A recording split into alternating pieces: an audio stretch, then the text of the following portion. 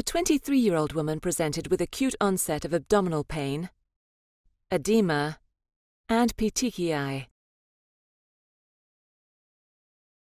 Sonography showed ascites and thickened jejunal wall with hyperperfusion in power Doppler. At upper gastrointestinal GI endoscopy, severe hemorrhagic inflammation of the descending duodenum was seen.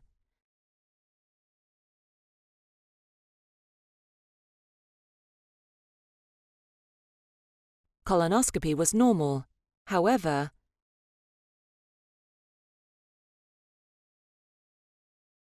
In the terminal ileum, deep hemorrhagic ulcerations and edematous and erythematous mucosa could be detected.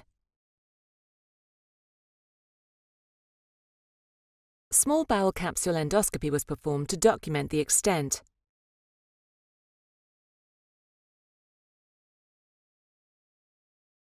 Edematous mucosa with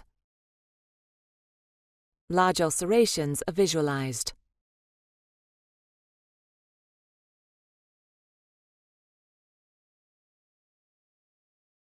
Although capsule transit time is almost one hour after passage of the pylorus, localization trace documents the position still in the duodenum.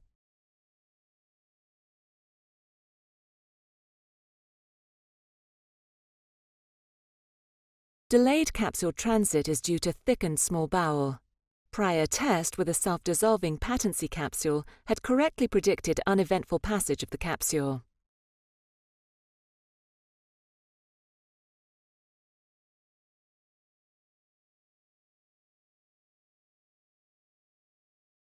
Between segments of severe inflammation, areas of normal mucosa are seen.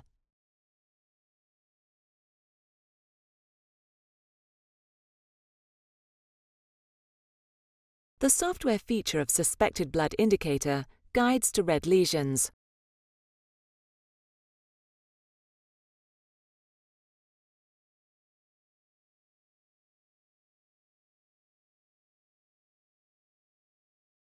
like these areas with the typical intestinal purpura in Henoch-Schönlein disease.